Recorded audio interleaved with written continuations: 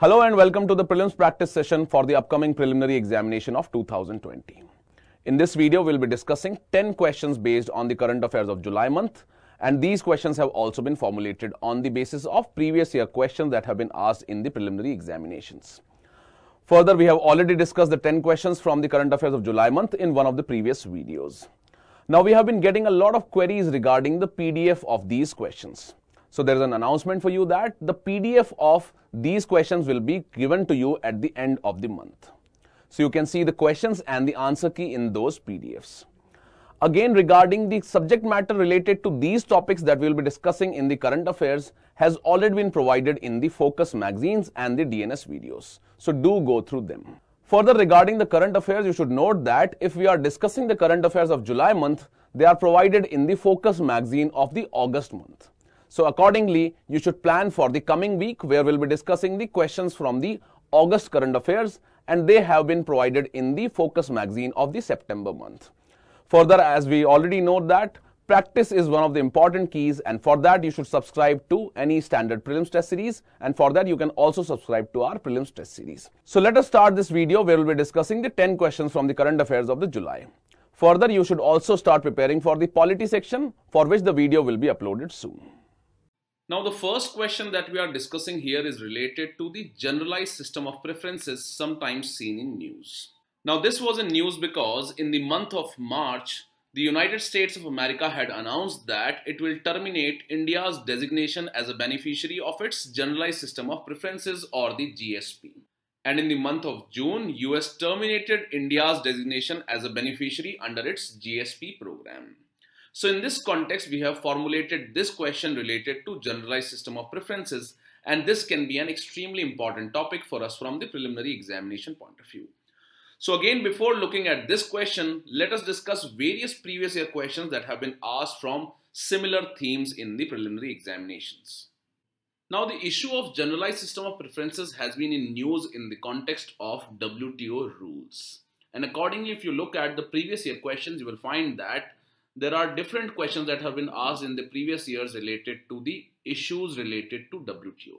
So if you look at this question, it was asked in the year 2017 and it was related to the trade facilitation agreement of the WTO. Second question that was asked in the year 2017 was related to another issue related to WTO. And this question that was asked in the year 2016 is related to the issue of subsidy under the WTO affairs. Then this question was again asked in the year 2015 and it was related to the agreement on agriculture related to the WTO. So if you look at this question that was asked in the year 2017, it reads, consider the following statements and the first is that India has ratified the trade facilitation agreement of WTO.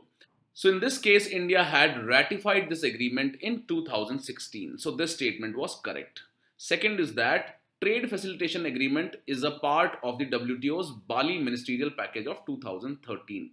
This statement was also correct. However, as far as the third statement is concerned, it reads the Trade Facilitation Agreement came into force in January 2016, which is incorrect because it came into force in the February 2017. Now, the Trade Facilitation Agreement is aimed at expediting the movement, release and clearance of goods, which includes the goods in transit and this is basically aimed at simplification, modernization and harmonization of the export and import processes. So as the name of the agreement suggests that this agreement of the WTO is aimed at simplifying the trade related processes. So in this case the correct answer was A that is 1 and 2 only. Now this trade facilitation agreement was one of the important current affairs related to WTO that was in news in that year. Now, the second question that was asked in the year 2017 reads that the term domestic content requirement is sometimes seen in the news with reference to. Now, the correct answer here was that it is in news with reference to the developing solar power production in our country. Now, this issue was in news in the current affairs of 2017 because India's Jawaharlal Nehru National Solar Mission favored Indian manufacturers of solar panels and cells in the government procurement and that was known as the domestic content requirement. And this domestic content requirement that was given under the government procurement was declared illegal by the WTO's appellate body. And this domestic content requirement was challenged by the United States of America in the WTO. and hence this was in news in that year. So we see that important issues related to the WTO are continuously in news and they are asked in our preliminary examination.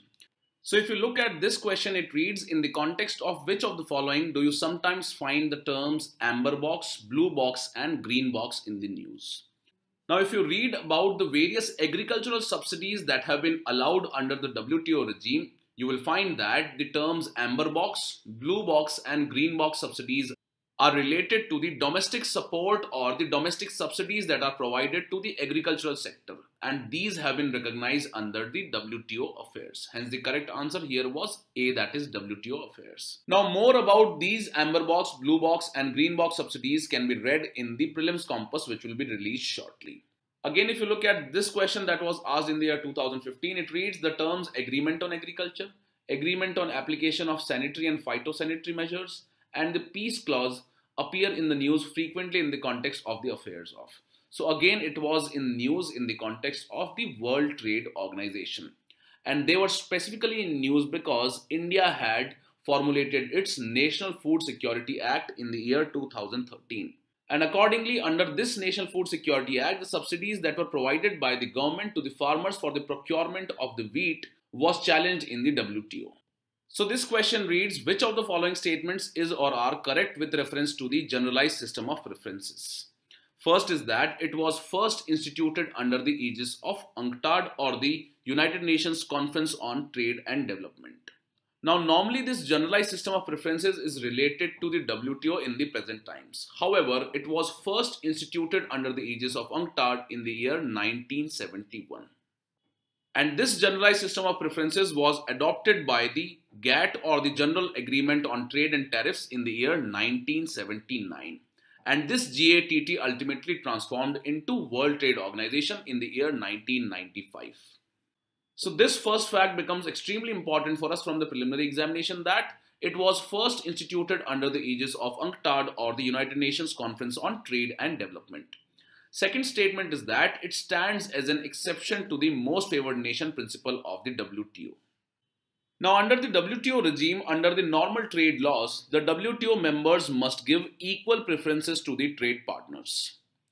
And therefore, the normal WTO trade laws ensure that there should not be any discrimination between the trading countries. However, the WTO allows the members to give special and differential treatment to and from the developing countries or the least developed countries. And accordingly, this is an exception to the most favored nation principle or the clause under the WTO. And this exception was provided by the enabling clause which was officially called as the decision on differential and more favorable treatment reciprocity and fuller participation of the developing countries and it was adopted in the year 1979 by the GATT which was a precursor to the WTO. And this enables the developed members to give differential and more favorable treatment to the developing countries and accordingly this stands as an exception to the most favored nation principle of the World Trade Organization. So after this discussion, we understand that various issues have already been asked in the previous years related to the current affairs related to World Trade Organization and accordingly, in this year, the generalized system of preferences was in news continuously. And accordingly, this becomes an extremely important topic for us from the preliminary examination point of view. With this, let's take up the next question now. Now, the next question reads that the BRICS countries adopted the PartNIR at the 10th summit which was held in Johannesburg it aims at which of the following? And a similar question was asked in the preliminary examination of 2017, which was related to the digital single market strategy seen in the news. Now, further before this, let us look at how the questions have been asked based on BRICS and why BRICS becomes an important theme for us from the preliminary examination point of view.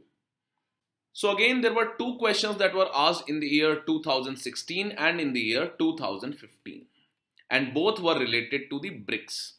And as you might be knowing that this BRICS stands for five emerging economies of the world that is the Brazil, Russia, India, China and South Africa. So regarding the first question that was asked in the year 2016 it reads consider the following statements and the first is that the new development bank has been set up by the APEC which was incorrect because it was set up by the BRICS countries. The second statement is that the headquarters of the new development bank is in Shanghai and which is a correct statement. So the correct answer here was B that is 2 only. And the question that was asked in the year 2015 was pretty simple and it read the Fortaleza declaration recently in news is related to the affairs of. So it was related to the affairs of the BRICS. Now this Fortaleza declaration that was asked in the preliminary examination of 2015 was important because it was at this summit that the new development bank was announced which would have a corpus of $100 billion. Again at this summit, a contingent reserve arrangement was also announced. And similarly, there were other important initiatives that were announced at the Fortaleza Declaration. And that is why it was asked in the preliminary examination of 2015. Again, when the new development bank was set up, a question was asked in the prelims of 2016. So accordingly, the important initiatives of the BRICS grouping and also the important summits which have been held are asked in your preliminary examination. So similarly, as PartNIR is also one of the important decisions that has been taken by the BRICS grouping at its 10th summit, that is why we have framed a question on this theme.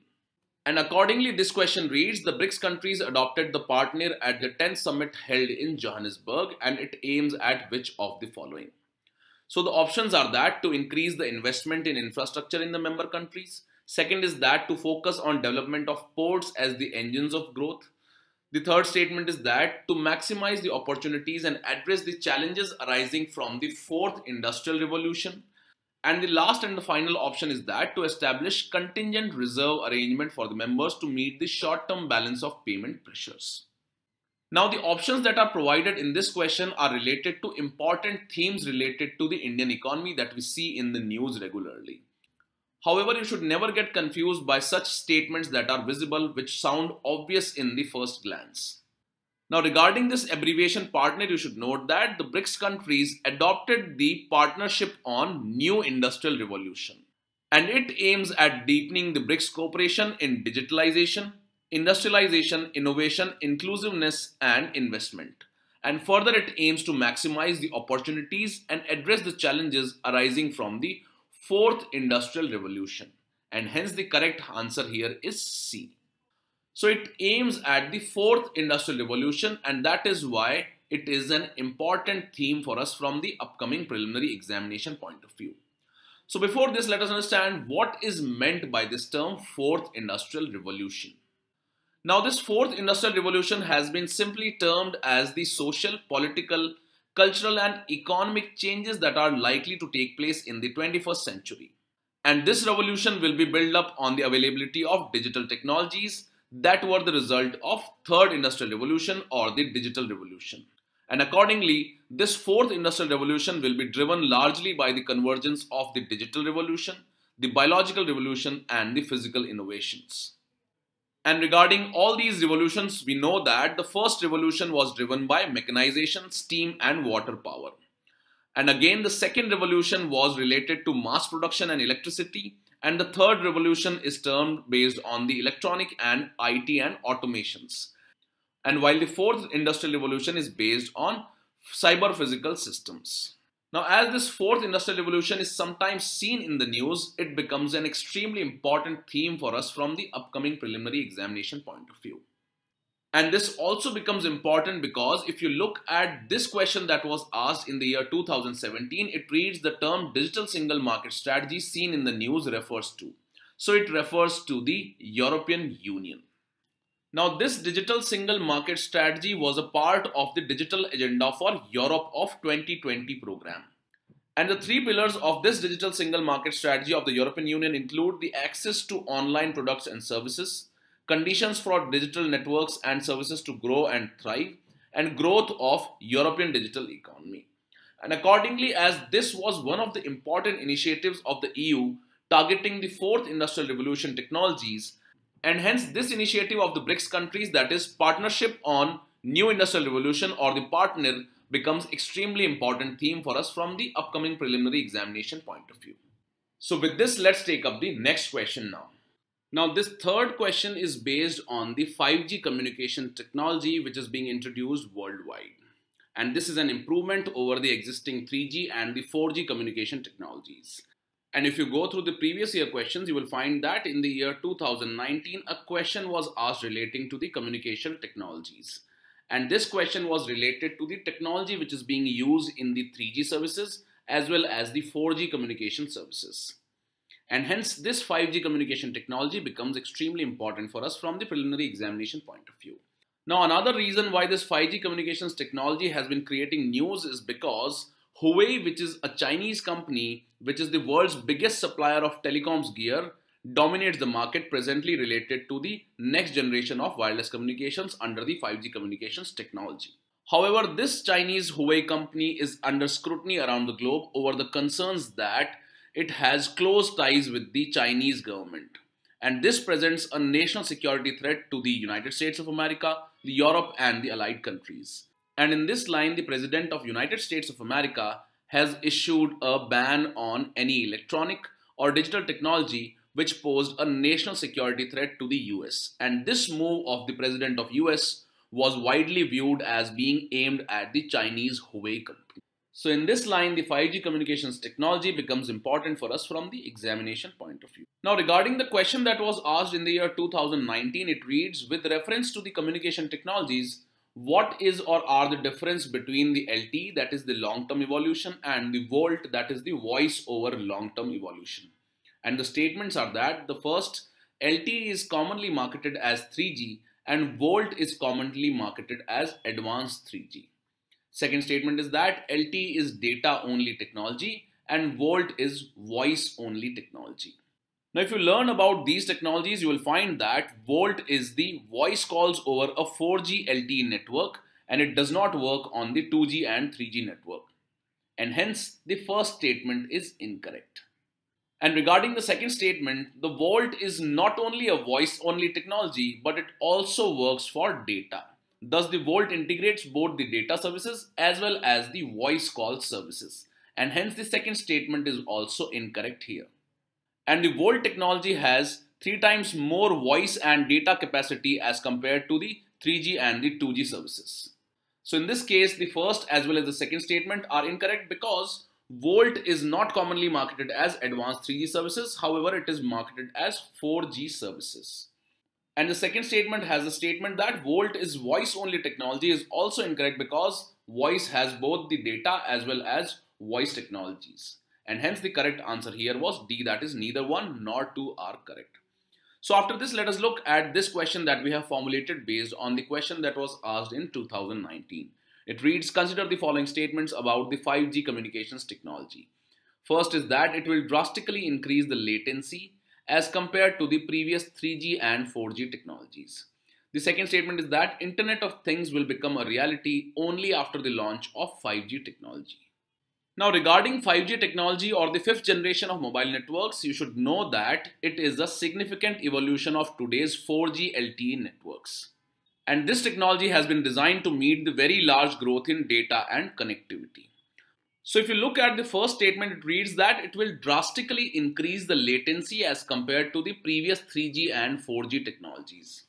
So in this statement, the key term here is latency. And if you know what latency is, you could have easily understood this statement clearly. Now latency is the time taken for the devices to respond to each other over the wireless networks. And if you compare the 3G, 4G and 5G technology, the latency in the 3G networks was typically 100 million seconds, while it reduced in the 4G technology to about 30 million seconds. And in the 5G technology, it will be as low as 1 million seconds. So this means that the latency will decrease with the introduction of 5G technology and it will not drastically increase. And hence this first statement is incorrect. However, what will increase drastically is the response time of the devices which work over the wireless networks. And hence this first statement is incorrect because it is not going to increase the latency, rather it is going to decrease the latency drastically when the 5G technology is introduced. Regarding the second statement, it reads that Internet of Things will become a reality only after the launch of 5G technology. And this is also incorrect because the Internet of Things has already started with the introduction of 4G technology. However, the scale of machine-to-machine -machine communications will become extremely large when the 5G technology is increased. So in this question, you might have understood that questions in the technology sections are asked based on very common and important facts. And accordingly, if you saw the question of 2019, it asks us to compare the LTE as well as the VoLTE technology, which is commonly used by every one of us. So in accordance with that, you should also be aware about the 5G technology and what is the likely change because of the introduction of 5G communications technology. With this, let's take up the next question now. Now, the fourth question is related to the foreign overseas bonds which were announced by the Finance Minister of India in the budget of 2019. And in this regard, various debates were going on regarding the impact of such foreign overseas bonds which will be issued by the Government of India for the first time. Now, before solving this question, let us look at the previous year questions related to the bonds which have been asked in the preliminary examinations. So if you look at this question, it was asked in the year 2016 and it is related to the IFC Masala bonds. So first let us try and solve these two questions which were asked in the year 2018 and in the year 2016 and after that we will try and answer the question that we have found based on these questions. So if you look at this question that was asked in the year 2016, it reads, with reference to the IFC Masala bonds sometimes seen in the news, which of the statements given below is or are correct? First statement reads that the International Finance Corporation, which offers these bonds, is an arm of the World Bank. Second is that they are the rupee dominated bonds and are a source of debt financing for the public and the private sector. Now, the first statement is correct because the International Finance Corporation had offered the IFC Masala bonds and also it is an arm of the World Bank Group. And besides the International Finance Corporation, the World Bank has the IBRD or the International Bank for Reconstruction and Development. Then there is International Developmental Association, that is the IDA. It has the Multilateral Investment Guarantee Agency and the International Center for the Settlement of Investment Disputes. So these are the five organizations which are commonly known as the World Bank Group. And hence this International Finance Corporation which offers these bonds is an arm of the World Bank Group. And the second statement that they are the rupee dominated bonds and are a source of debt financing for public and private sector companies is also correct. And this is because the IFC Masala bonds are rupee dominated bonds and they are a new source of funding for the Indian companies. And hence the correct answer here was C that is both the statements 1 and the statement 2 are correct. Now, the question that was asked in the year 2018 was related to the treasury bills and the government securities. So this is also related to the question that we have formed related to the overseas bonds because that is also one source of funding for the government.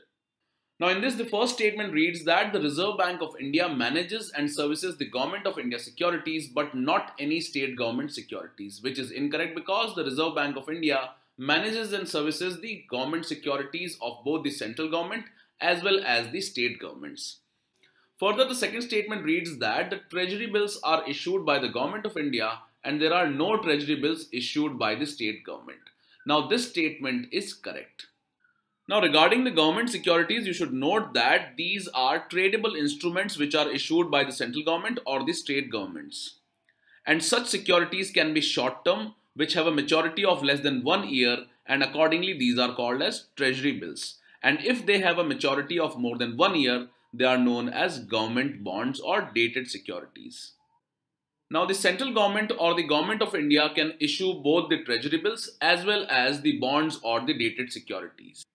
However, the state governments cannot issue treasury bills and they can only issue dated securities and these are called as the state development loans or the SDLs.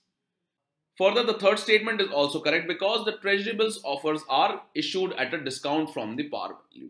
And hence the correct answer here was C that is 2 and 3 only. Now if you have solved these two questions, you might have understood that various questions are asked related to the concepts related to the issuance of various bonds by either the government or some important bonds which are in news. And accordingly, a question was asked in the year 2016 related to the IFC Masala bond which required us to know the details of this IFC Masala bond. And if you look at this question that was asked in 2018, it required us to understand the concept of the government securities as compared to the treasury bills. So such conceptual knowledge of these bonds becomes extremely important for us from the preliminary examination point of view. And after this, let us look at the question that we have formed based on these previous year questions related to the foreign overseas bonds which will be issued by the government of India. Now this question reads which among the following is or are the likely benefits of the foreign overseas bonds to be issued by the government. So this question requires us to analyze what could be the likely impact of issuance of these foreign overseas bonds by the government of India. And in this three statements are given that it will crowd in private sector investment. Second is that it will minimize the impact of exchange rate fluctuations on government's borrowing. And third is that it will help in internationalization of rupee. So let us understand each of these statements in detail and try and answer this question. Now regarding the first statement, you should note that so far the government has only issued bonds in domestic markets and these are known as the government securities as we have learned in the previous question. And now by the issuance of these foreign overseas bonds, the government plans to issue such bonds and these bonds will be dominated in the foreign currency. However, the quantum of government borrowing domestically is crowding out the private sector investment and this is mainly because the government borrowing accounts for about 80 to 85% of the domestic savings. So if the government starts raising funds in the foreign markets through the issuance of foreign overseas bonds, it will help in improving the investments by the private sector.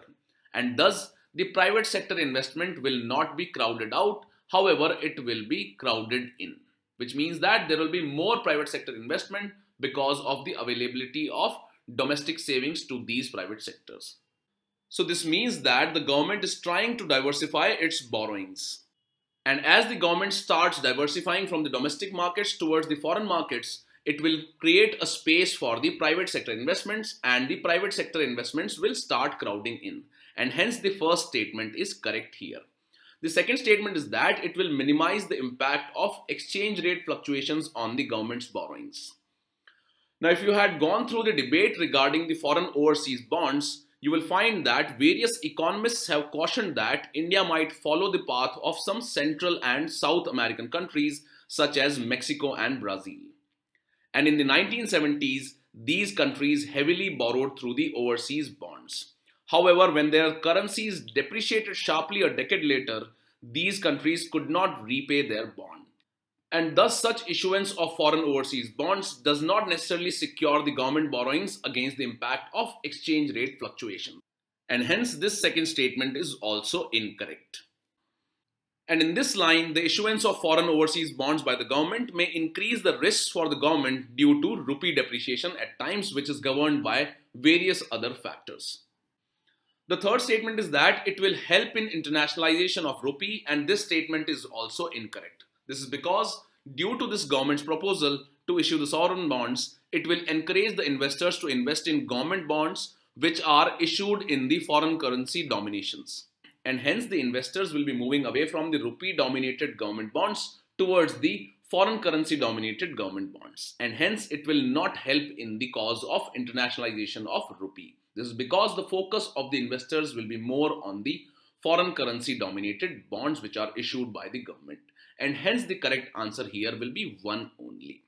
Now the takeaway from this discussion should be that if a question related to bond can be asked in the preliminary examination, it can be asked as to which agency has released this new bond. Secondly, in which currency is this bond dominated? So is it a rupee dominated bond or a foreign currency dominated bond? And secondly, what could be the likely impact of issuance of such bonds? And to learn more about the foreign overseas bonds and their impact on the Indian economy and the government borrowings, you should go through the Focus magazine of August where this issue has been covered in detail. With this, let's take up the next question now. Now, the fifth question is related to the partial credit guarantee scheme which has been unveiled by the Government of India for the benefit of the non-banking finance companies. And this scheme has been floated by the Government of India because of the crisis which is being faced by the NBFC sector. So in this context, let us look at how previously UPSC has asked question related to the crisis that is being faced by the banking sector. And accordingly, this scheme which aims at resolving the crisis of the NBFC sector becomes important for us from the preliminary examination point of view. Now we know that the Indian banking sector is facing the issue of non-performing assets and accordingly various schemes have been floated to take the banking sector out of this crisis. And accordingly UPSC has asked questions in the year 2019 and in the year 2017 related to these schemes which are related to the banking crisis. So the first question that was asked in the year 2019 reads, what was the purpose of the intercreditor agreement signed by the Indian banks and financial institutions recently? So the first statement here is that to lessen the government of India's perennial burden of fiscal deficit and current account deficit. Second is to support the infrastructure projects of the central and the state governments.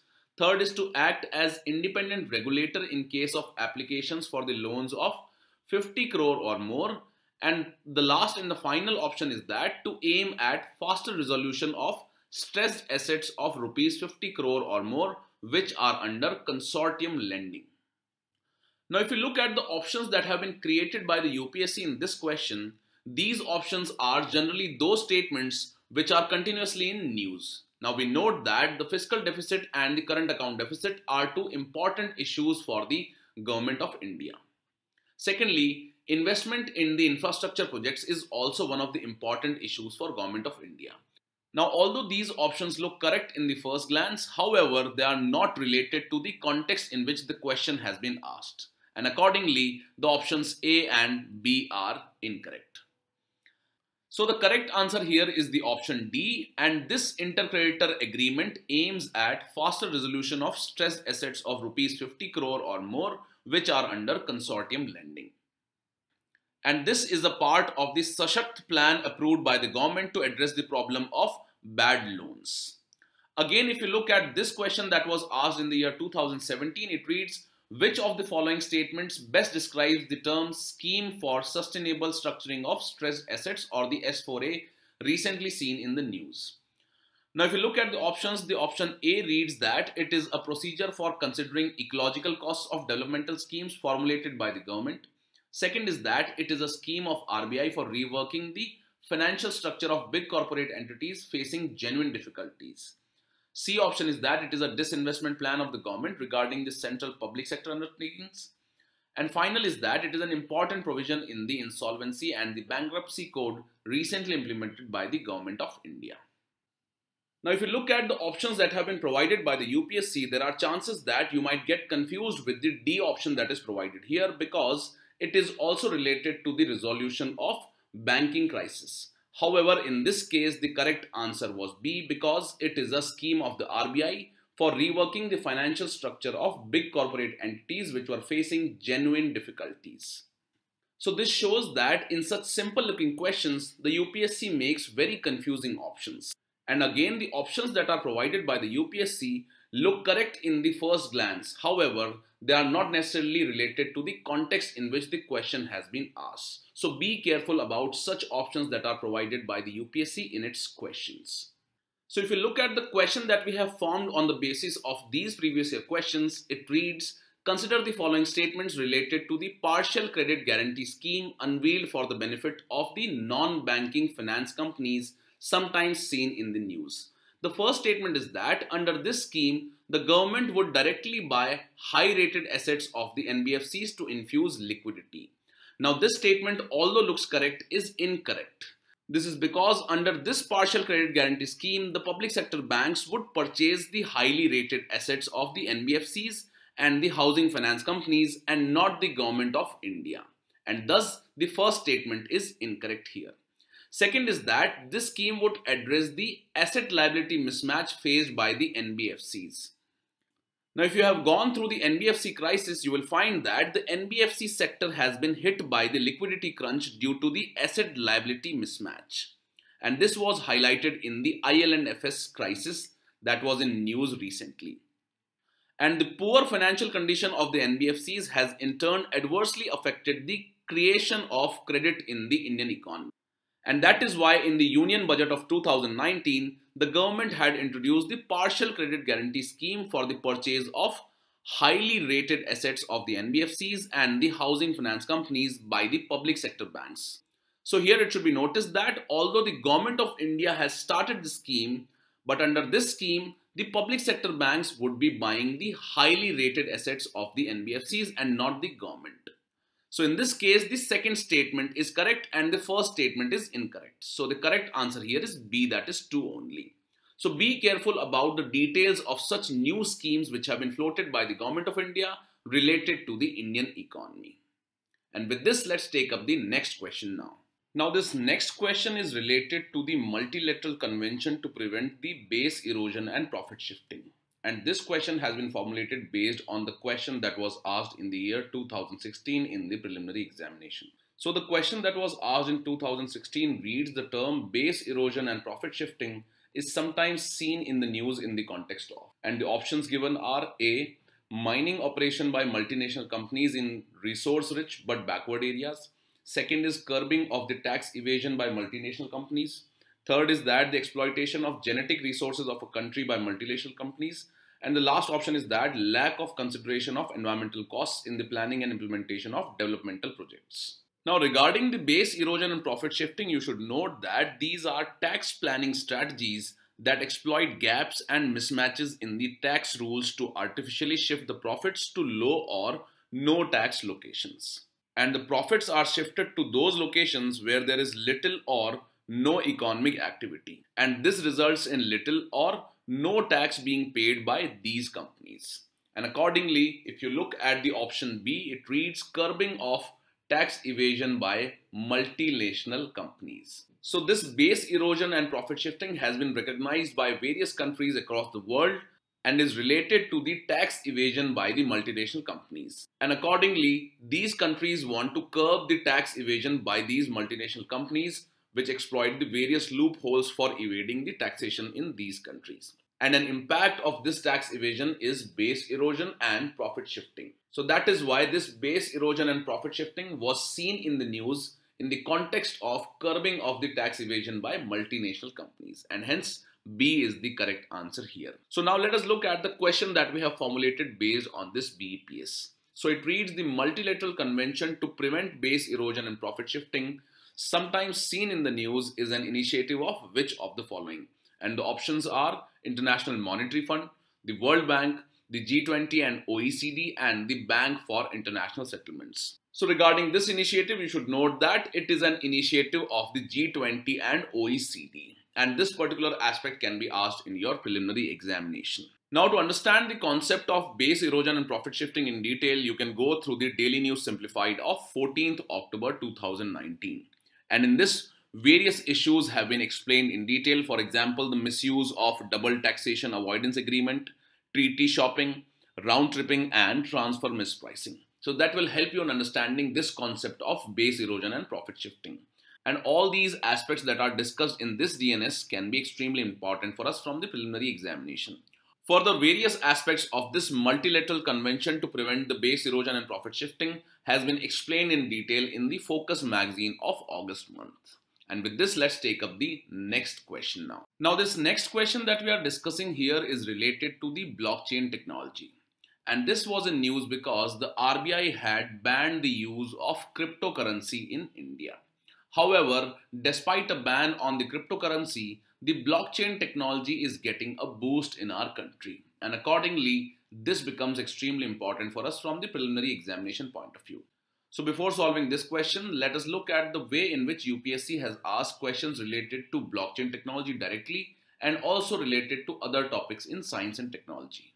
So if you look at the previous year papers, you will find that there was a question in the year 2018 which was related to the blockchain technology. And again, in the year 2016, a question was related to Bitcoins, which is a cryptocurrency based on the blockchain. And if you look at the question that was asked in the year 2018, it had one statement related to CRISPR-Cas9. And again, if you look at the question that was asked in the year 2019, it was related to this Cas9 protein, about which UPSC had already asked the question in the year 2018. And finally, if you look at this question, it was also asked in the year 2018 and it was related to the applications of the 3D printing technology. Now, if you look at the question that was asked in the year 2018, it reads, consider the following pairs regarding the terms sometimes seen in the news. And it requires us to match these terms with the context or the topic due to which they were in news. So for example, the first pair is Belle 2 experiment and the topic or the context is artificial intelligence. Second is blockchain technology and digital cryptocurrency and third is CRISPR-Cas9 and particle physics. Now in these pairs, the first pair is incorrect because the Belle 2 experiment was related to the studying of the properties of beta mesons and thus it was related to particle physics and not artificial intelligence and hence the first pair was incorrect. Second is that blockchain technology and digital cryptocurrency which was a correct match. However, the third pair that CRISPR-Cas9 and particle physics was incorrect. And this is because CRISPR-Cas9 is a molecular scissor which is used in targeted gene editing. And hence the correct answer here was B that is 2 only. And again if you look at the question in 2019 it reads what is Cas9 protein that is often mentioned in the news. And in this the first option that is a molecular scissor used in targeted gene editing is a correct answer here. However, the other three options that is a biosensor used in accurate detection of pathogens in patient is incorrect. The third option that is a gene that makes plants pest resistant is also incorrect. And the last option that is a herbicidal substance synthesized in genetically modified crops is also incorrect. Further, if you look at the question that was asked in the year 2016, it was related to the Bitcoin. And it reads, with reference to the Bitcoins sometimes seen in the news, which of the following statements is or are correct? First is that Bitcoins are tracked by the central banks of the countries. Second is that anyone with a Bitcoin address can send and receive Bitcoins from anyone else with a Bitcoin address. And third is that online payments can be sent without either side knowing the identity of the other. So in this case, the first statement was incorrect because these Bitcoins or the cryptocurrencies are not tracked by the central banks of the countries. And hence the statements 2 and 3 were correct about the Bitcoins. So the correct answer here was B that is 2 and 3 only. And again, the question that was asked in 2018 required us to identify the applications of 3D printing process. Now, it is important to note that UPSC has asked a question in the mains examination of 2013 related to this 3D printing technology. And again, it asked a question related to 3D printing in the prelims of 2018. So regarding the applications that were provided in the question, all were correct. That is, it is used in preparation of confectionery items, it is used in manufacturing of bionic ears. It is used in automotive industry, reconstructive surgeries and data processing technologies. And hence the correct answer here was D that is 1, 2, 3, 4 and 5. Now what these questions reflect is that previous year questions can be important themes for the upcoming preliminary examinations, especially related to the questions of science and technology. And as we have seen, a question was asked in the year 2018 regarding the CRISPR-Cas9 and again in the year 2019 a question was asked related to this Cas9 probe. Further in the mains examination of 2013 a question was asked related to 3D printing and again in the prelims of 2018 a question was asked related to the same topic. Further, if you look at the question that was asked in 2016, it was related to Bitcoin, which is a cryptocurrency and is based on blockchain technology. And again in the year 2018, a question was asked related to the blockchain technology. Further, if you look at the question that was asked in 2018, it requires us to match the important technologies that were in news. And hence you can expect a question regarding the original purpose or the objective of these technologies that are sometimes in news. So after this, let us solve the question that we have created related to the blockchain technology. So if you look at this question, it reads, consider the following statements. Blockchain is an extremely secure centralized ledger that cannot be arbitrarily manipulated. And the second is that Libra is a blockchain based cryptocurrency launched by the Google. Now in this context, the first statement is incorrect because it is not a centralized ledger. However, it is a distributed or a democratic kind of ledger. Second statement that is Libra is a blockchain based cryptocurrency launched by the Google is also incorrect because Libra is a blockchain based cryptocurrency which was launched by the Facebook and was in news in the previous year. And this can be an important fact for us from the preliminary examination point of view. And thus, the correct answer here was D, that is neither the statement 1 nor the statement 2 are correct. Further, to understand the blockchain technology and the 3D printing process in detail, you can go through the DNS of 21st July 2019 and the DNS of 16th April 2019 and they will help you in understanding the details of blockchain technology or how this blockchain technology works and also the details of 3D printing technology. Further regarding various other important topics related to science and technology will be covered in the prelims compass that will be released soon. So do go through those topics and they will help you in answering the questions in your preliminary examination related to the science and technology topics. With this, let's take up the next question now. Now the eighth question is related to the deep ocean mission. And this was in news because the Ministry of Earth Sciences had planned that it will spend rupees 8000 crore on this deep ocean mission. Now, if you look at the question that was asked in the year 2015, it was also related to a term that is IndARC, sometimes seen in the news, is the name of. And this was also one of the important exploration initiatives of Government of India. And the correct answer in this case was D, that is, it is India's underwater observatory to scientifically study the Arctic region. So in this case, the question that we have formed related to deep ocean mission requires us to identify the primary focus of this deep ocean mission, which has been started by the Ministry of Earth Sciences. So in this case, the options read first is that it aims at the exploration of marine life on the ocean floor. Second is that it aims at studying the ocean bottom topography.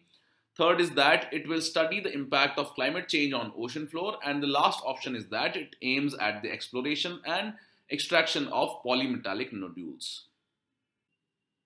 Now, this deep ocean mission aims at boosting India's sea exploration capabilities.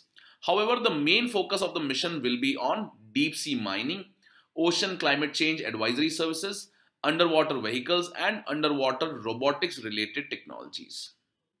So in this case, if you look at the options, the primary aim of this deep ocean mission is aimed at and which is in turn aimed at the exploration and extraction of polymetallic nodules. And hence the correct answer here is D, that is, it aims at the exploration and extraction of polymetallic nodules. Further, regarding the deep sea mining process, you should note that the International Seabed Authority which is an autonomous international organization established under the 1982 UN Convention on the Law of Sea or the UNCLOS, allots the area for deep sea mining.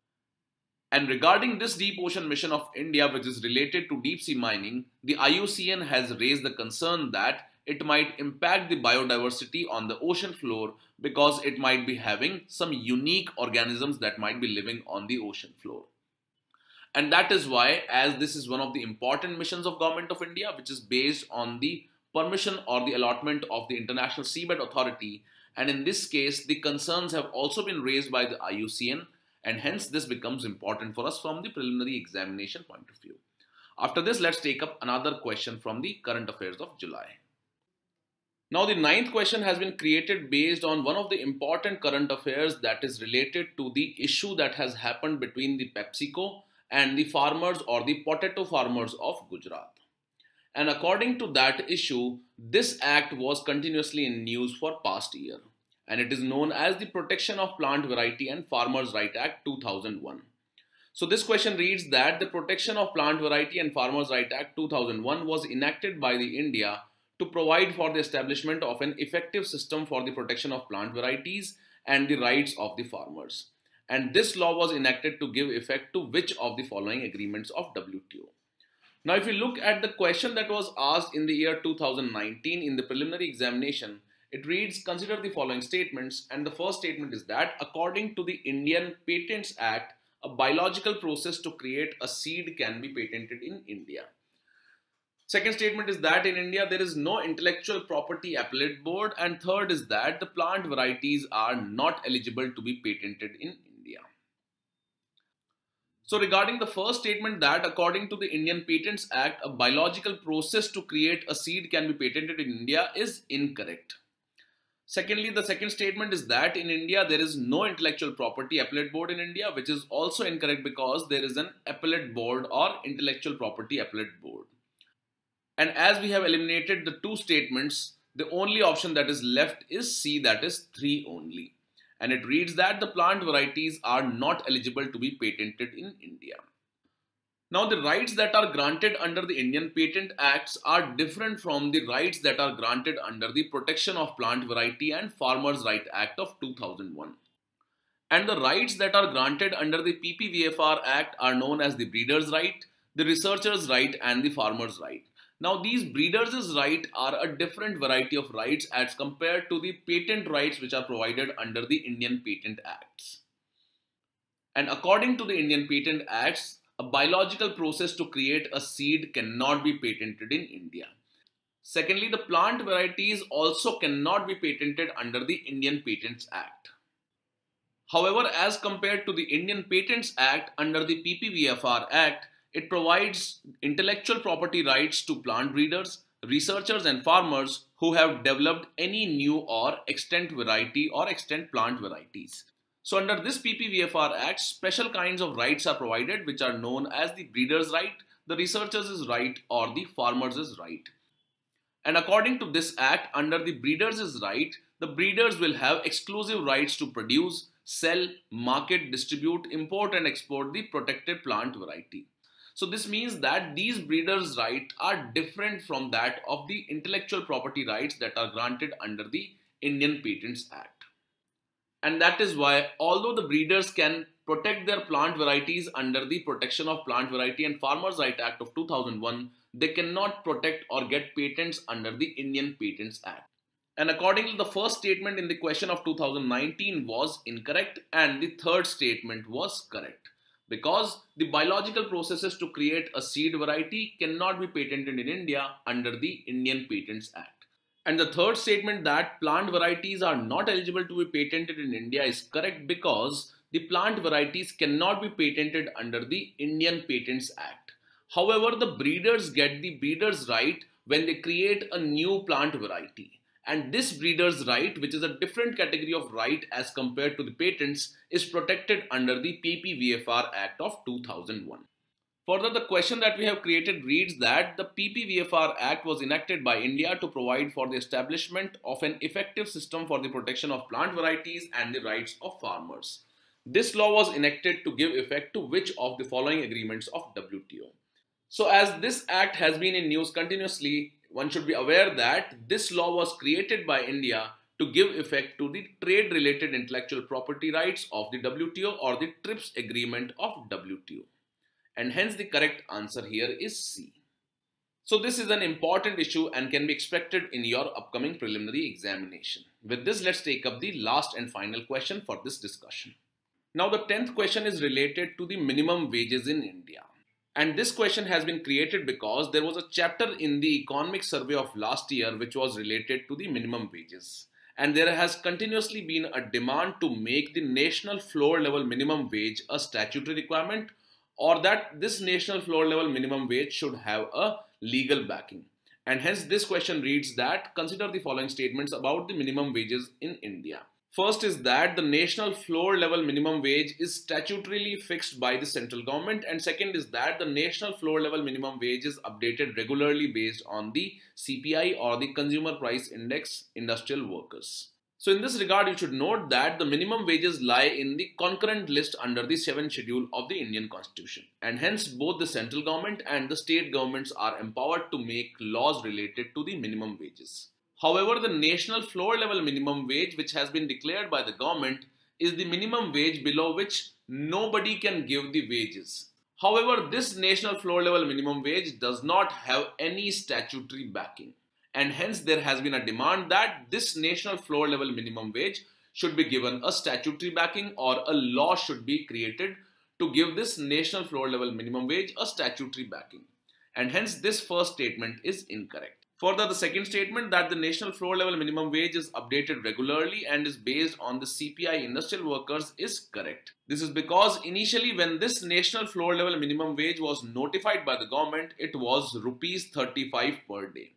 However, it is being updated regularly based on the CPI and in the last notification on the 1st June 2017, it was about rupees 176. And further, the issue regarding this national floor level minimum wage is that it only has persuasive value and does not have a statutory backing. And that is why various state governments fail to implement this national floor level minimum wage. And in this regard, there has been a demand that to make the national floor level minimum wage more effective, it should have a statutory backing. So the correct answer here is B, that is 2 only. So with this, we conclude today's discussion and the next video related to the polity will be uploaded soon. And for the coming week, in which we'll be discussing the current affairs, you should start preparing for the current affairs of August month.